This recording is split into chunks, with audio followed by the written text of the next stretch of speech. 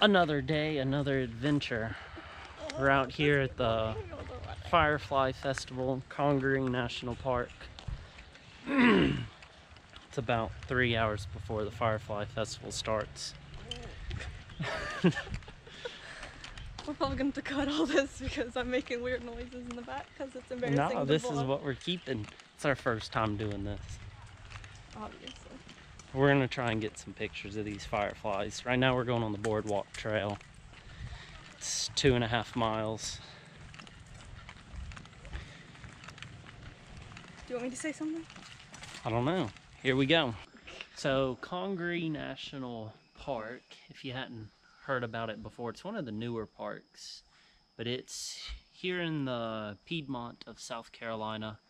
It's an old growth forest. So you can see these trees that we're in on this boardwalk trail.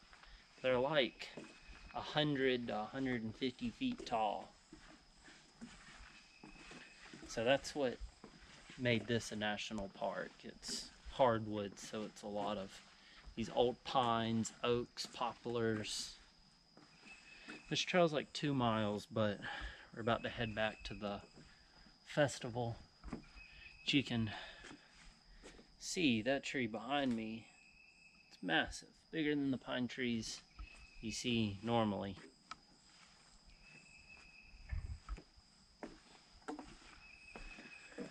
But yeah, I think we're about to head back to this Firefly Festival.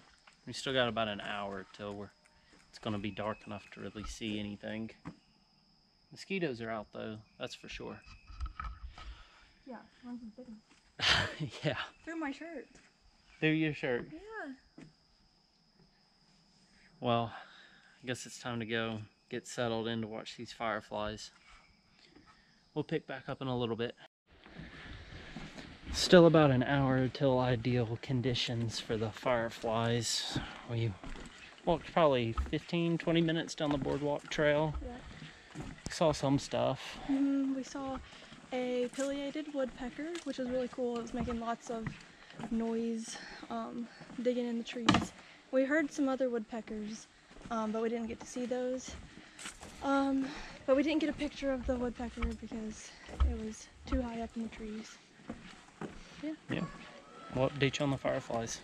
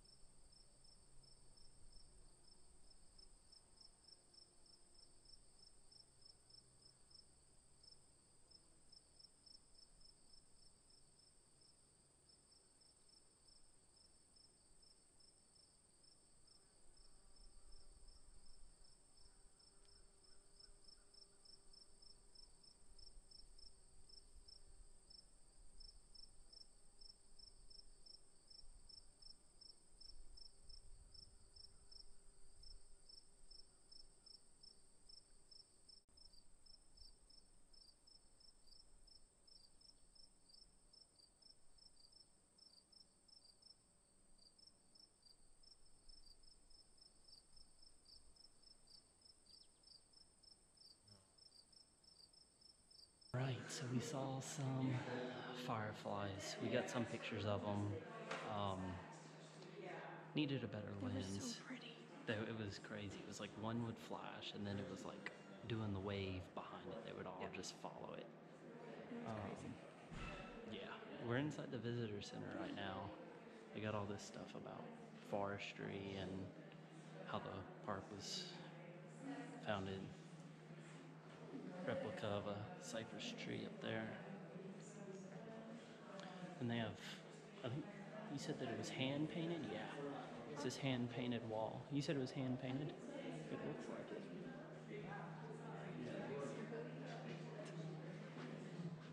They have a sample tree and you can read all about it. You Yeah. getting over here? It was really pretty and nothing like I've ever seen. No, it was- I think it's here in Congaree and then the Smoky Mountains, and then there's one other place. It'll be on the screen. The list of the places where you can see the synchronous fireflies. All right, well that That concludes this vlog. this Vliggity vlog. That's Congaree. There'll probably be more pictures if we see anything on the way out of the park, but yeah. that was all. See you on the next adventure. Good night. Night.